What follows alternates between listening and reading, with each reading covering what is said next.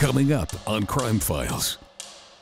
I'd say it is, frankly, the most cold blooded case I've ever seen. This is the tragic story of one of the most heinous crimes in Long Island history. Can you take me back to the morning of June 19th, 2011?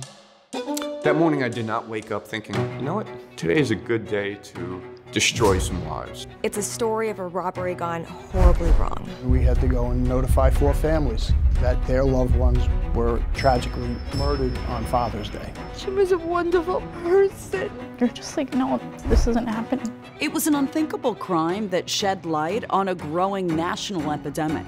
How many pills were you taking a day? 20? 25? This is the story of a man triggered. I committed unspeakable acts. And the five minutes that killer wishes he could desperately take back. I realized after that first shot went off, I had just taken a life. Crime Files starts now.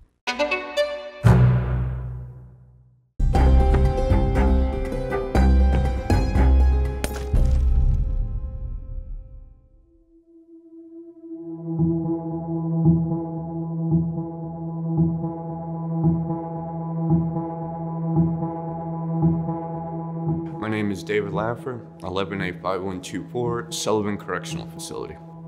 So here's what you need to know about David Laffer. He's a convicted, cold blooded killer serving five life sentences without the possibility of parole.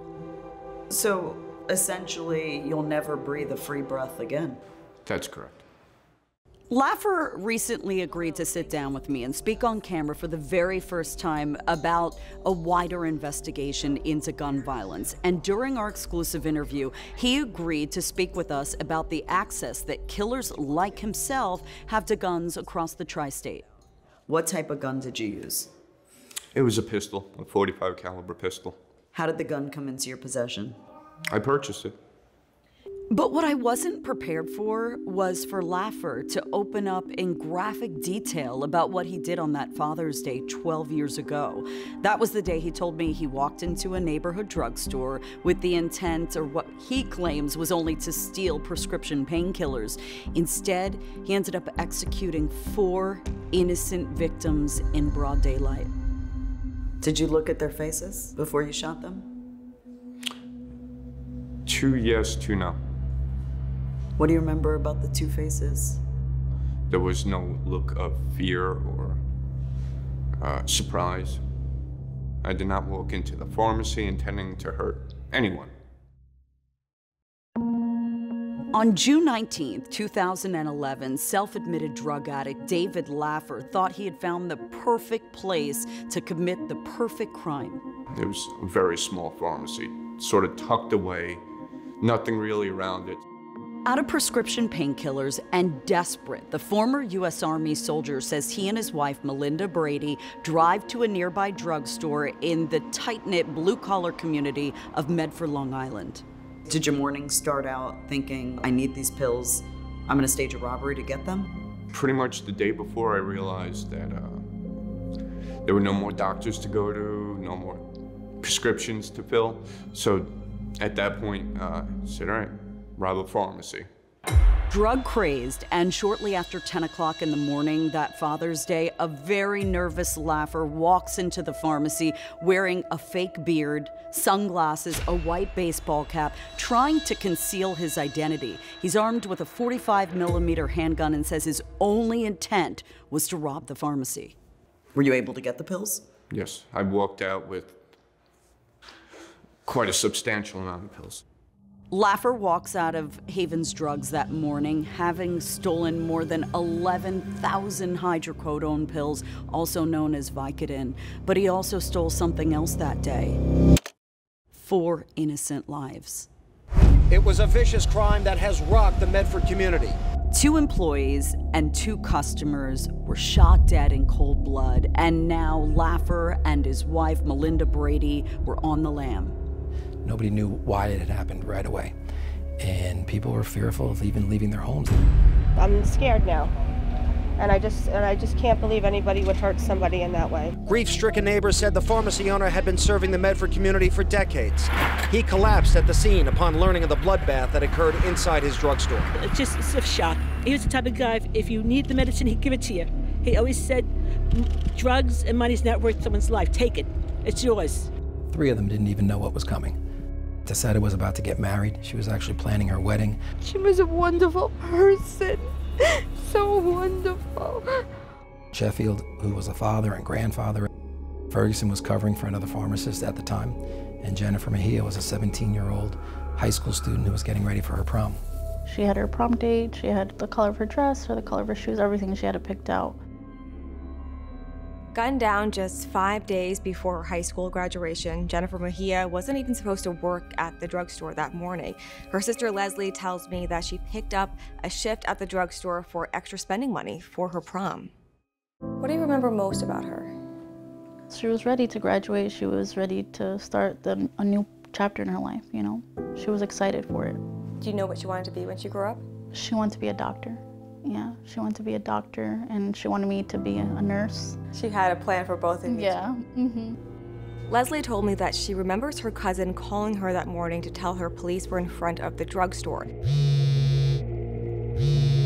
She says she knew at that very moment something was terribly wrong. And I hung up on him very quickly and then I called my parents. Can you go check on Jennifer? I said, Dad, please go check. I don't I have a really bad feeling like and I started crying like I it's like my heart knew, you know? Leslie says waiting for a word about her sister was excruciating. I called her like 50 times. I called the pharmacy and nobody was answering. And my parents got home and I was just like, what took you guys so long? Like and they sat me in, on the couch and my mom grabbed my hands and she, she was like, you need to be strong. And I said, what are you talking about? And she said, um, they killed your sister. That could have been any one of our family members uh, going to pick up a prescription for you, whether for them or another family member. Totally four innocent victims that were just uh, cut down. He never announced the robbery. He never made his intentions, other than an intention to murder anybody, clear. And there was no indication that there was any resistance from the victims either, right? Absolutely not. I know that he sent her to the back and she was able to hear when something happened to the pharmacist. So she knew something was was coming, you know, that that something was going to happen to her. What do you think was going through your sister's mind in that moment? Where she was, there was no way out. I can only imagine how scared she was in that moment. She was little. She was 17. She was young and she was just four feet tall, 11 inches tall. She wasn't going to hurt anybody. And he could have just taken what he needed and left. By the end of Father's Day, police were generating hundreds of tips. And one name kept coming up David Laffer. He was suddenly public enemy number one. He'd received the most amount of tips. We knew that people were saying he had a drug problem. They also quickly knew that Laffer was their man because of the actual physical evidence he left at the crime scene. He had touched several spots in the area, as well as a piece of paper that fell down. And that piece of paper ended up being very important with identifying who the assailant was. As we looked into him, we saw that he had a 45 caliber handgun that was registered to him. Ultimately, that was the caliber handgun that was used during this, these murders. The murders happened on a Sunday, and by Wednesday, police were ready to make their move. They had been staking out his home just about two miles from the murder scene. The arrest made by undercover detectives and SWAT teams. They got him. Do you remember the moment when you were told that David Laffer was arrested? I remember watching it on TV with my parents. I was just like, this is so close to our house. Like, it's literally like five minutes away. One of the most intense moments came just minutes after Laffer's arrest. The grandmother of one of the victims raced to his home with a message for the man who had killed her granddaughter, 33 year old Jamie Taccetta. You're the devil, and God always wins out. Your day will come.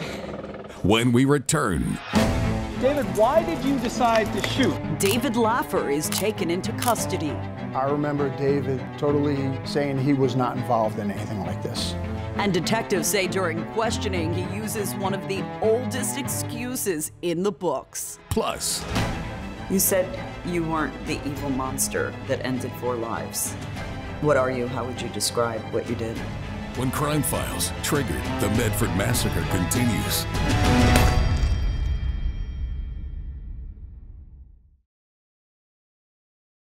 Crime Files continues now with Triggered, the Medford Massacre. After a three day manhunt, police make their move. Laffer and his wife were arrested and taken into custody. Police officially charged Laffer with murder and resisting arrest Wednesday night. They say he gunned down all four people inside of Haven Drugs on Father's Day in order to steal prescription painkillers. This department has been working tirelessly around the clock to take this killer off the street, and within 72 hours, we arrested him. But Laffer and his wife didn't go down easily. According to the arrest report, both fought back. Laffer held onto an officer's gun, while Brady grabbed onto an officer's leg as they were trying to put her husband into handcuffs. Laffer's wife, seen here in this yellow shirt, was also arrested at the couple's home. 29 year old Melinda Brady is charged with robbery for what police say was her involvement in the crime. As fast as they were arrested, Melinda Brady was just as quick to throw her husband under the bus, singing like a canary to the reporters at her perp walk. He did it. He did all this. This was the first time you ever took a gun, committed a crime. Correct. Did you think you were going to get away with it? No. No. If you knew that you were going to get caught, Mm-hmm. Why kill the other three? It didn't really matter. The withdrawal was all encompassing. It outweighed everything. Anything. Addiction is not a good thing. So here's the thing about David Laffer. He told me, like a lot of people, he turned to Vicodin to curb the pain after multiple sports and dental injuries, and before he knew it, he was hooked. So, at the height of your addiction, how many pills were you taking a day? 20? 25? Describe the need to take those pills. It's really just an all encompassing need to kill the pain, physical pain, and then it turns into a battle. It's just, an, you know, the classic addiction, So, it was an all encompassing, 24 7 type of addiction. especially for that last year. Yeah. And despite having an arsenal of guns, David Laffer certainly didn't fit the profile of a cold blooded killer either. He had no priors, so no, did he? He didn't even come across as, as a potential criminal, frankly. He had never been arrested for anything before. And that made it more difficult for law enforcement to try and comprehend everything that had happened. Laffer came from a good home, a good family. He had no criminal history. Tell me about your childhood. Great childhood. Um, parents weren't uh, abusers, weren't drug addicts, weren't alcoholics.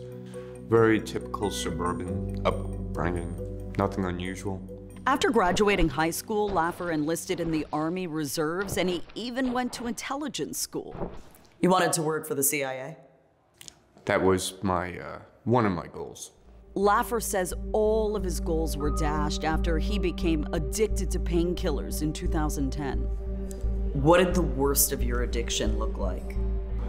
Well, when I was arrested, I'm six feet tall, and I was arrested at 122 pounds. So that's probably the worst. At the time of his arrest, Laffer said little about his drug use. In fact, police say he denied having anything to do with the murders, using one of the oldest excuses in the books, something to the tune of, My dog ate my homework. I said, how, how do you explain that your gun that is registered to you is uh, matched as the murder weapon? And without hesitation, David said to me that he was cleaning his gun about a week or so prior, took the gun apart, and took the barrel out, and his dog came up, took the barrel away, piece of the, the gun, the barrel, and ran away with it. And maybe someone found that barrel, used that barrel, and used it in one of their guns, and that's why it could have possibly have come back to him. I said, David, if you would have come and told me that, that you have a drug problem and Melinda has a, a drug problem, and you had to do this in order to make yourselves feel better because you're going through withdrawals or any other story like that, I said, maybe someone would have been able to connect with you. But when you tell us a story like this, it just shows you the evil person that you are. You didn't believe him for a second. No, not at all. Do you still think he is an evil person? Oh, absolutely, absolutely. Um, you know, he's never showed any remorse for this. He'll die in jail. You said you weren't the evil monster that ended four lives. What are you? How would you describe what you did? How would I describe what I did? My actual actions? Selfish and greedy. And how did you feel when you pulled the trigger?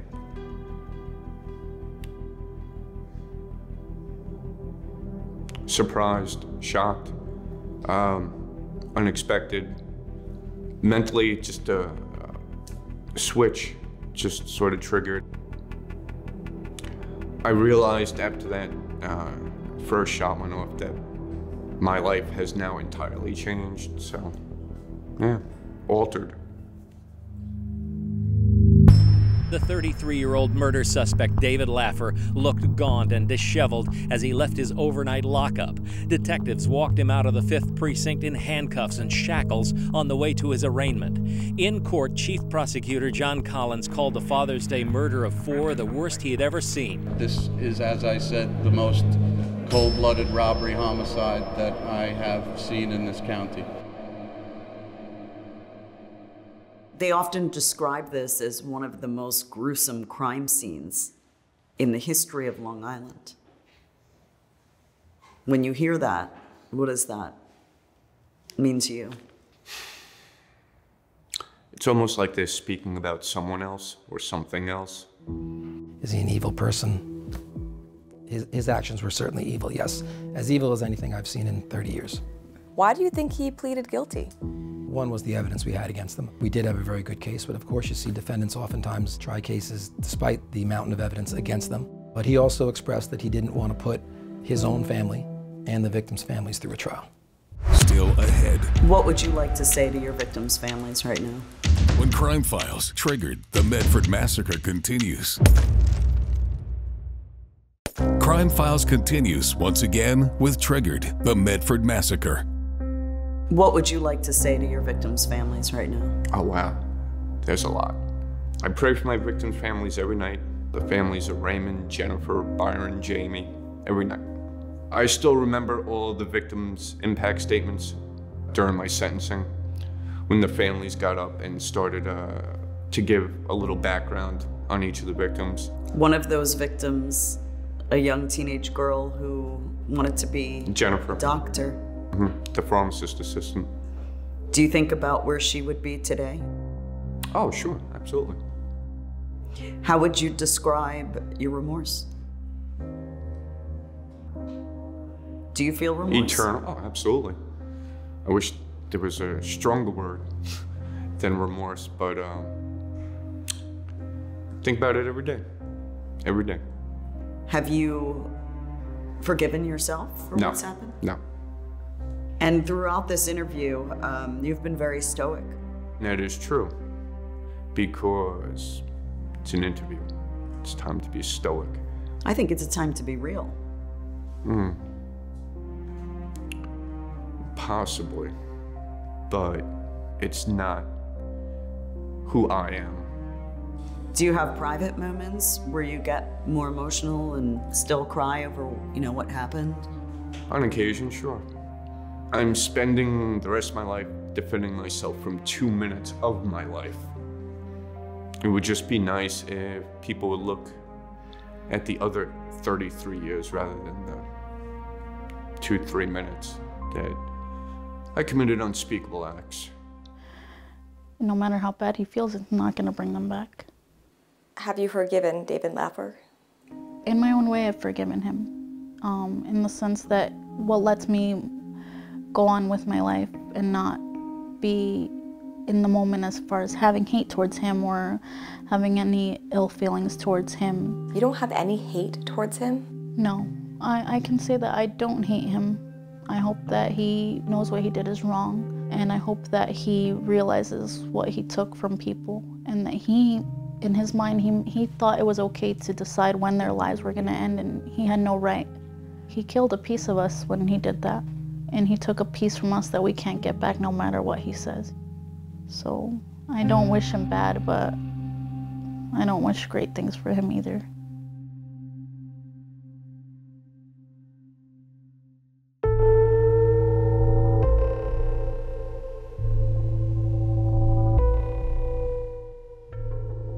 Realized that this was basically just a straight up robbery of, of the pills, we knew that, that we had a bigger problem coming down the line.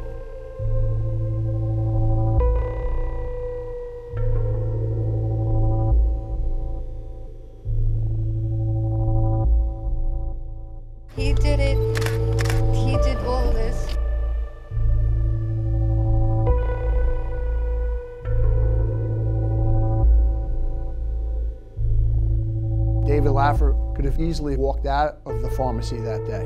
He didn't. And it just goes to show you what that addiction would make people do.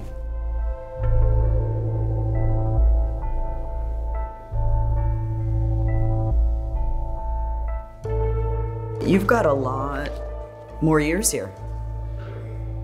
Dude, this is uh, the end result of the choices that I made.